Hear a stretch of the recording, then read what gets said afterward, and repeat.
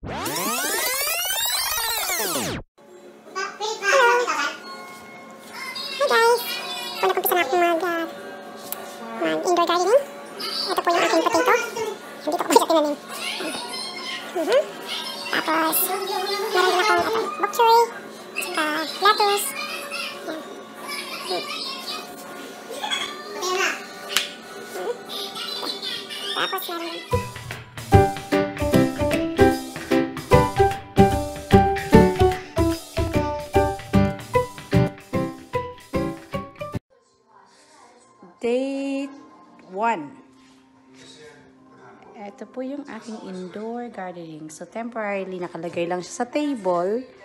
Yan, sa dining table.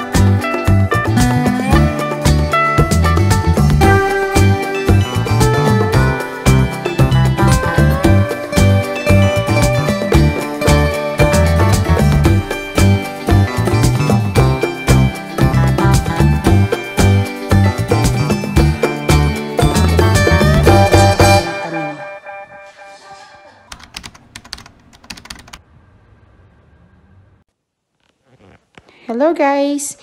Atin pong balikan ang ating munting garden. Ito po yung aking mga pananim. Ngayong araw po ay pang day 3.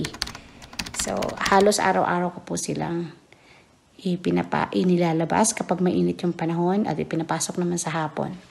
So, ngayon po, medyo hindi ko sila inilabas dahil medyo malamig pa. So, kaya dito muna. So, kung natatandaan nyo po, ito po yung aking potato. So, meron na po siyang, ayan. Potato! Ito na. Ayan. Tsaka, ito naman po ang aking mga bell peppers.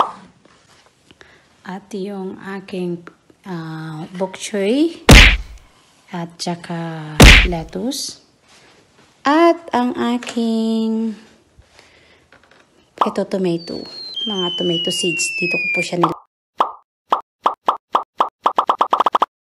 At dito naman ang aking pipino at okra.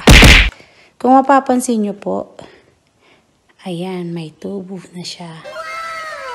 Sa loob lamang po ng 3 days, ayan, nakikita nyo po, yung mga white na yung mga white na yan. Ayan. Yung pipino medyo hindi pa. Ayan. So, ngayon po, ah, ipapakita ko po sa inyo na para po maging mas mas maging effective at mas madali yung pagtubo nila. Maglalagay po ako or i-applyan ko sila ng liquid ah, plant food. Ito po. Tested ko na po ito dahil gamit ko po ito, ginamit ko po ito last year. So, tawag nila ay super food. Liquid plant food, ayan po. Ihahalo nyo lang po sila sa, ihahalo nyo lang po siya sa tubig. Ang ganyan.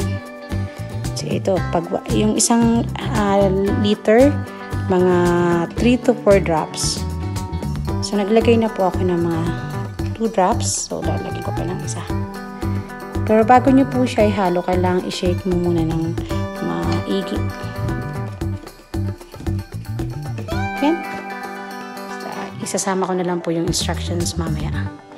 Ito po yung bilhin nyo dahil siguradong tested at uh, effective.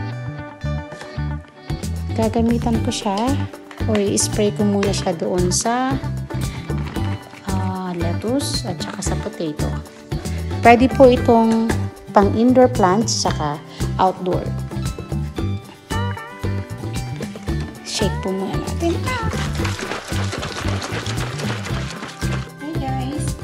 So, after ko pong na-shake at uh, ihalo, ihalo, yung isang um, litro po ng tubig, nilagyan ko po siya ng mga 2 or 3 to 4 drops ng liquid plant food. Tapos, hindi ko pa ng mabuti.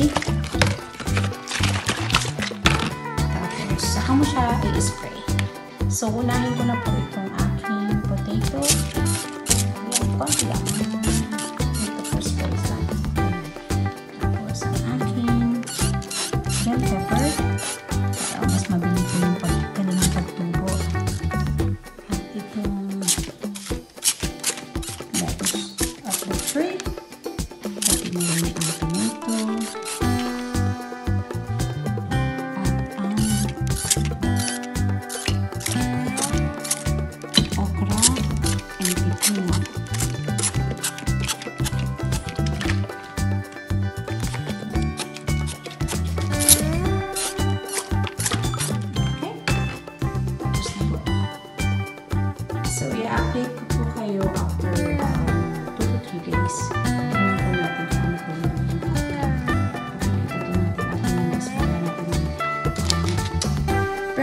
Yung paggamit po nito. Mga 2 to mga twice a month lang. So, hindi hindi siya applicable for ano, pang pang araw-araw. Kasi maganda po dito sa liquid plant uh, food. Pwede po siya sa in indoor at saka outdoor plants. Yan.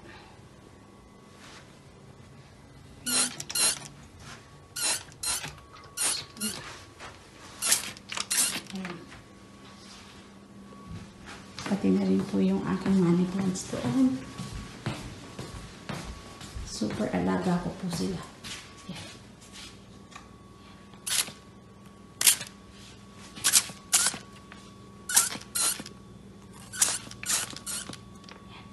Tsaka, ito pang isa. Kung mapapansin niyo po ito, parang plastic. Parang plastic po siya, pero hindi. Actually. Tsaka yung kanyang yung stone. Paka cute. Ayan. Tapos, ayan. So, meron na silang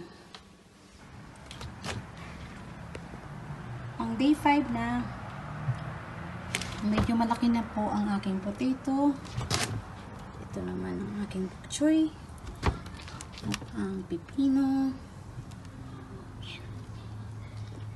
hindi pa sila tumutubo lahat